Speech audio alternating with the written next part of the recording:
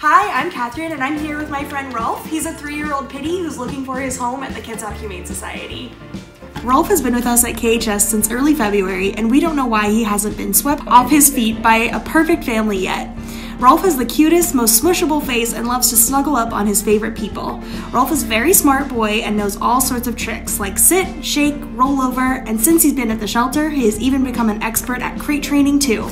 Rolph loves spending his days laying next to you on his bed, chewing a bone, or playing with a toy while you work or watch TV. Rolph would love a home with a big fenced yard so he can play ball with you for hours or sniff all the good smells while you garden.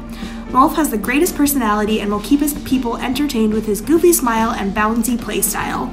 Rolph can be a rough and tumble boy at times when he gets excited, and he sometimes doesn't know he's a big dog, so he'd do best in a home with no small children. Rolph would love to be the center of your world and would do best in a home where he can be the only pet while he settles in and becomes comfortable with his new family. Rolph would be an excellent companion for someone looking for a loyal and cuddly dog. The secret way to his heart is butt scratches and tummy rubs.